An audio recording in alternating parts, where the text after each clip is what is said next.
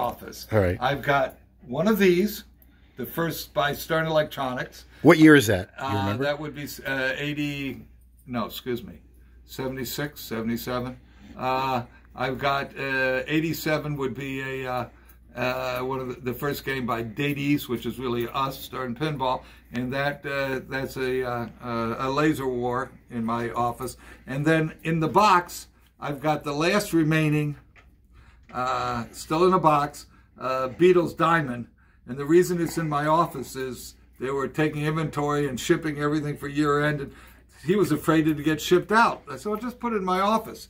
You know, so that's been sitting in there for three months until he sells it or does something with it because I got this big cardboard box in my office.